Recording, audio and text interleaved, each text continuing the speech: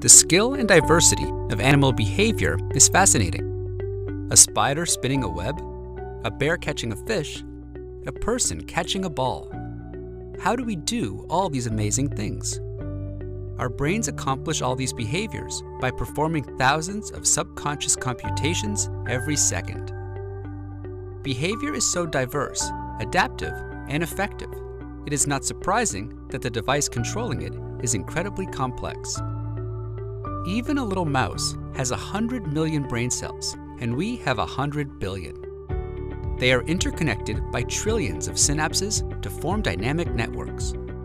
Because of the staggering complexity, it has been very difficult to figure out how brain cells are wired together to make circuits that perform all the computations required for behavior. In the Tian Lab, we develop advanced technology to answer these questions.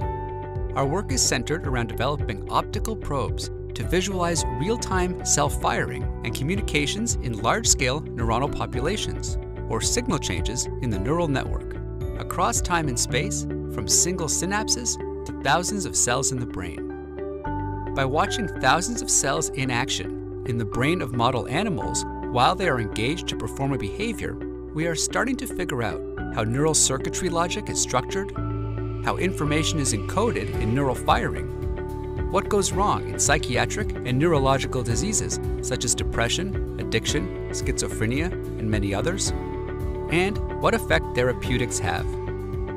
We are disseminating these tools to a broad scientific community to study previously invisible mechanisms of neural circuitry that will pave the way to new treatments of neurologic disorders.